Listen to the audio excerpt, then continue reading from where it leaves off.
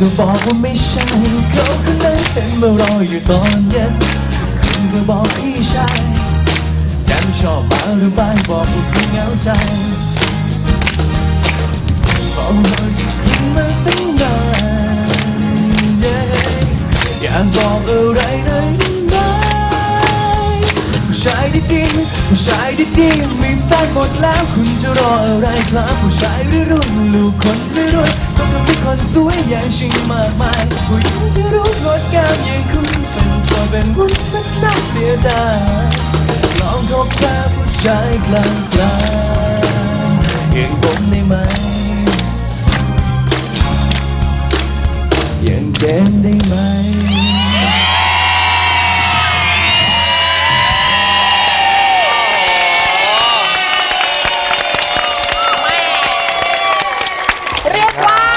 อีกหนึ่งความสามารถของน้องค่ะซึ่งเออ ไม่เคยเรียนร้องเพลง หรือว่าเล่นดนตรีที่ไหนมาก่อนเลย ครับก็จริงๆแล้วจริงลองเล่นเล่นๆเองที่บ้านครับอ่า คืออย่างเมื่อก่อนกีตาร์ที่ฝึกกันก็เพราะว่าเห็นเพื่อนเล่น เออ ก็เลยอยากเล่นบ้าง เออ เพื่อนก็เลยบอกว่าให้ไปซื้อ อ่ากระดาษขอดกีตาร์มาแล้วก็แปะข้างฝาบ้านเออก็เล่นตามนั้นก็เปิดหนังสือเพลงเล่นไป เล่นอะไรได้อีกครับ เล่นอะไรอะ เล่นเบสครับเล่นเบสได้ตีกลองเล่นนิดหน่อยครับแล้วก็มีเล่นเป็นโนเล่นนิดหน่อย โอ้โหก็หลายอย่างก็หลายอย่างนะ เห็นบอกว่าตั้งวงเป็นมีวงด้วยตอนที่อยู่ที่พิจิตรเหรอ ใช่ครับ ก็มีมีวงดนตรีที่พิจิตรผมเล่นเป็นเบสครับ เล่นเบสชื่อวงมีไหมชื่อว่า I Spy อะไรเงี้ยครับไอสปายแล้วไปเล่นที่ไหนไหมหรือไปประกวดอะไรอย่างเงี้ยก็ไหมไปเล่นที่โรงเรียนเล่นที่อะไรอย่างเงี้ยครับคือเราก็พยายามแบบว่าจัด จัดงานที่โรงเรียน เออเพื่อเราจะได้มีที่เล่นใช่ไหม ใช่ครับมาจากงานที่โรงเรียนเสร็จปุ๊บเราก็เป็นคนจัดเออแล้วก็ไปเก็บเงินมาเฮ้ยเอาเงินมาห้าร้อยห้าร้อยห้าร้อยแต่ละวงเออเออ ไปเช่าเครื่องดนตรีแล้วขนกันมาเองอะไรเงี้ยครับเออแล้วสุดท้ายเราก็ได้เล่นเยอะสุดอะไรเงี้ยเราเป็นนี่จัดเอง ไงล่าสุดคือเจมส์เนี่ยไปเทรนเรื่องการแบบเต้นที่เกาหลีเหรอ คุณจะไป คุณจะไปเป็นศิลปินเกาหลีเหรอหรือยังไง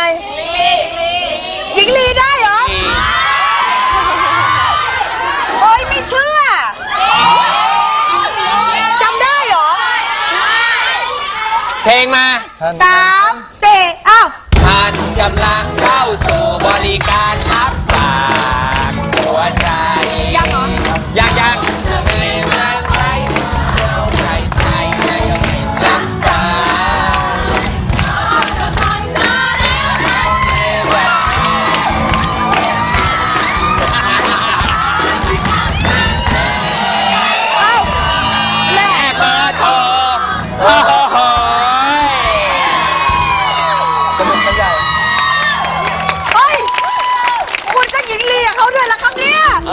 คือจริงๆแล้วผมว่ากะโอ้แกะผมว่ากะแกะไปแลกวัฒนธรรมกับเขาครับแรงวัฒนธรรม ใช่เต้นเหรอ เต้นหญิงลีโชว์เขาอะไรเงี้ย คุณจะเอาหญิงลีไปโชว์เกาหลี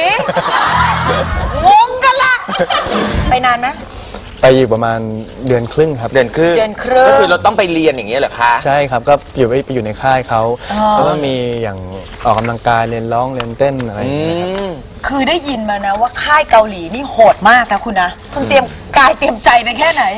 ก็ยังวันๆอยู่ครับ เพราะว่าเพราะว่าอ่าทางพี่ปิ๊กเขาได้ส่งอะไรมาให้แบบดูคร่าวๆอะไรอย่างเงี้ยครับก็มีอย่างตื่นเช้า6กโมงเช้ามาวิ่งอะไรอย่างเงี้ยเอคอรับเนี่ย แล้วเข้าทำนู่นทำนี่เอ่อเรียนร้องเรียนเต้นทำแบบทั้งวันจนถึง5้าทุ่มอแล้วก็กลับบ้านเขาจะมีกล้องจับว่าเดินถึงบ้านถึงถึงบ้านหรือยังอพร์ตเมนต์กี่นาทีเออใช้เวลาห้ามเกินเท่าไหร่ เออแล้วแล้วก็แบบห้ามใช้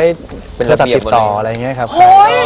ไม่ได้หมายความว่าจะไปออกเทปเป็นเรื่องเป็นราวอยู่ที่นู่น ไม่ไม่ครับไปอยู่เมืองไทยนี่แหละคนไทยน่ารักไง เรื่องความสามารถเนี่ยก็อย่างที่บอกคือบอกว่าอะครั้งแรกเนี่ยนะที่พี่ปิ๊กชันฉลาดเนี่ยเห็นรูปเจมส์ใน Facebook ปรากฏว่าอ้าวนี่มันมาริโอเนี่ยเหรอทำไมพี่ปิ๊กเขาคิดอย่างนั้นอะเห็นตอนแรกครับผมเอ่อคิดว่าเป็นมาริโอเพราะว่าหน้าเขาร่วมร่วมสมัยมาก แล้วก็คือไม่ชัดเพราะเขาแลบลิ้นนะครับ พอเข้าไปดูในเฟซเขาถึงรู้ว่าแบบไม่ใช่ไม่ใช่ อ๋อ ไม่ใช่ ซึ่งคือรูปนี้เหรอคะ ใช่ครับถูกครับอ๋ออะพอทำสัญญากับพี่ปิ๊กแล้วก็ต้องเข้ามาอยู่กรุงเทพอย่างงี้ใช่ไหมใช่ครับ แต่คุณต้องนอนกับแม่เนี่ยต้องถึงม .6 แล้วคุณทำไงอะจากอ้อมอกแม่มา ก็ดีใจเลย นี่ไง ลิงโลดเลยแล้วเป็นยังไงคิดถึงไหมพอมาอยู่คิดถึงไหมเอาจริงๆเออเอาจริงๆต้องมาอยู่มานอนคนเดียวมาก็คิดถึงครับคิดถึงแต่ว่าช่วงแรกก็เหมือนกับอ่าผมไม่เคยออกจากบ้านเลย ไม่เคยออกไปไหนคนเดียวแล้วก็ไปกับพ่อกับแม่ตลอด พอมาอยู่กรุงเทพก็มาอยู่กับพี่ปิ๊กสองคนเลยชีวิตในคุณในกรุงเทพมันเป็นไง มันก็ตลกดีครับคือผมก็ยืนอยู่แบบอยู่ในบนคอนโดอะไรเงี้ยก็มองทำไมรถมันติดทั้งคืนเลยวะอะไรเงี้ยแล้ววิ่งไม่มีเวลาไหนที่แบบว่าไม่รถถนนว่างเลยใช่ใช่ไหม คือที่บ้านพี่จิตรผมเนี่ย เอ่อสองทุ่ม เออเงียบเงียปะบนอนกลางถนนไม่มีรถทับแล้ว คือพอตลาดตลาดปิดห้างปิดปุ๊บ ตลาดวาย หมดเลยเงียบไม่กิ๊บ คือไม่มีรถวิ่งผ่าน เออเป็นแล้วไงเออจากที่เคยอยู่กับคุณพ่อคุณแม่อย่างเงี้ยค่ะ พอเรามาอยู่กรุงเทพเองเนี่ยต้องรับผิดชอบตัวเองยังไงชีวิตเปลี่ยนไปไหม ก็เปลี่ยนครับช่วงแรกเอ่อคือหนึ่งเลยคือ ผมหาที่ซักผ้าไม่เป็นแล้วก็ผมไม่เคยซักเครื่องไงเออจะกดยังไง ใช่หยอดเหรียญก็ไม่ได้เอ๊ะหยอดเหรียญแล้วมันจะคืนตังค์ไหมอะไรเงี้ยเอ๊ะเดี๋ยวตังค์เราหายไปอะไรเงี้ยครับเออเออเออก็เลยคิดนางหวั่น ใช่ใช่ก็เลยเออ ไม่เอาดีกว่า เออ แล้วทำไงอะ เพราะมันสักทีชั่วโมงหนึ่งก็โอ้โหนานเดี๋ยวผ้าหายอะไรเงี้ยคเอรับอกังวลเรื่องผ้าหาอีกทำไงทำไงอะ เสื้อผ้ามีน้อยๆอยู่ เออ แล้วคุณทำไงกับเสื้อผ้าคุณอะก็เลย อย่าบอกแล้วคุณใส่ซ้ำไปซ้ำมาเนาะ ไม่คือมีบางทีที่แบบว่าซักบ้างครับซักเอง ซักเสื้อใช่ซักมือ อ๋อก็เลยตัดปัญหาไปเลยใช่ซักเองเลยดีกว่า คือพอไปพอไปทำงานเสร็จปุ๊บเรากลับมา เออก็ดึกแล้วประมาณแบบเที่ยงคืนตีหนึ่งอะไรเงี้ยครับอ่าอ่าผมก็ง่วงนอนก็นอนตื่นเช้ามาตีห้าก็ต้องออกไปอีกอะเออก็ไม่มีเวลารีดเออก็เลยสะบัดสะหบัน้าดใส่เอาเลยคนอื่นถามว่าเอ้ยทำไมไม่รีดเสื้อเออเออ มันเป็นเทรนด์ เข้ากรุงเทพทำให้เรารู้จักการใช้เงิน ใช้ยังไง มีอยู่ช่วงหนึ่งครับ ที่เพิ่งเล่นละครอะไรเงี้ยอ่า แล้วเขาก็ให้ให้เงินให้เงินก้อนมาให้เงินก้อน สิบตอนแรกอะไรสิบเงี้ยตอนได้เท่าไหร่ ก็ได้ประมาณสองแสน สองแสนบาท เยอะมาก โอ้โห นี่ครั้งแรก ตอนนั้นอายุเท่าไหร่เมื่อปีที่แล้วครับสิบเก้าสิบเก้าสิบเก้าสิบเก้าหาเงินได้สองแสนเยอะเนาะ ทำไง ดีใจมากคือจริงๆแล้วผมไม่เคยมีเงินแบบมีเงินเก็บเลยเออก็อยู่กับพ่อแม่ก็ขอตังค์เอ้ยแม่ขอร้อยหนึงเอออยากอยากเวลาอยากอยากได้อะไรอย่างเงี้ยใช่ไหมเราจะนั่งแม่ เอ๊ะ แล้วก็แล้วก็ก็จะได้มาแล้วบางทีก็ไม่ได้บ้างอะไรเงี้ยครับเออเออ ก็เลยเก็บกดในใจคราวนี้สองแสนเป็นไงได้ปุ๊บให้พ่อแม่ปั๊บอืมเก็บเองหมดเลย แล้วได้ข่าวว่า ซื้ออะไรคะ2 0 0แสนถึงได้หมดภายใน 3 อาทิตย์ นี่ไงคือแบบว่าได้เงิน2 0 0 0 0 0 บาทเออดีใจลิงโลดดีใจแล้วบอกพ่อแม่ว่าไม่เป็นไรไม่ต้องให้เงินผมแล้ว นี่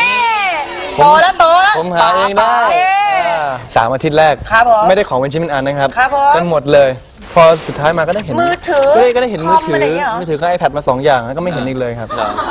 เสื้อผ้ากางแล้วเกนงอกในนั้นน่ะเสื้อผ้าซื้อไหมมันก็ไม่เป็นชิ้นเป็นมื้อแรกไม่มื้อแรกคุณกินอะไรดีกว่า มีเป็นหมื่นเหมือนกันครับเหรอเหรอใช่ใช่เก็บกดแกเก็บเก็บกดกดเออเออเออไปกินร้านอาหารแต่ว่าเนื้อย่างอะไรเงี้ยอ๋อเหรอโอ้ยอย่างไฮโซเนื้อละลายในปากเอเลอยโอเบเรียแต่ว่าจานละห้าพันอะไรเงี้ยเออฟินมาก อยากกินมานานแล้วใจเข้าฟิใจนมากฟินมากเออเออแล้วพอเขากินเสร็จปุ๊บ พอ หลังจากสามอาทิตย์แล้วเออ เหลือเงินอยู่ประมาณเจ็ดร้อยบาท เจ็ดร้อยจากสองแสนเหลือเจ็ดร้อยใช่ ต้องใช้อีกกี่วันถึงจะเหลืออยู่เจ็ดวัน อยู่เจ็ดวันเจ็ดร้อยใช่ครับ เฉลี่ยต้องใช้วันละร้อย ใช่เครียดเลยครับเออเพราะว่าออกไปทำงานอย่างเงี้ยนั่งนั่งนั่งวินมอเตอร์ไซค์นั่งวิน ก็ 20 บาทละ เออเหลือแปดไปสิบ เอ็ม MRT ก็อีก 20 กว่าบาท BTS อีก 30 25 แล้วแต่ละทางใช่ไหมเอออนี่มันก็จะหมดแล้วนะ คือไม่ได้กินข้าวอะครับ เหรอ เอาแล้วทำไงอะไม่ แล้วกินก็ข้าวอยู่ แล้วก็พยายามโทรหาพี่ปิ๊กว่าเอ๊ะอยู่ไหนครับอ๋อจะคือพี่ปิ๊กอยู่ไหนจะตามไปกินข้าวด้วย แล้วก็มีออกออกไปเสร็จปุ๊บแล้วก็ไปไปอยู่กับเขาบ้างไปแหมะกันแล้วก็บอกว่ากลับบ้านกับเขาด้วยอ่า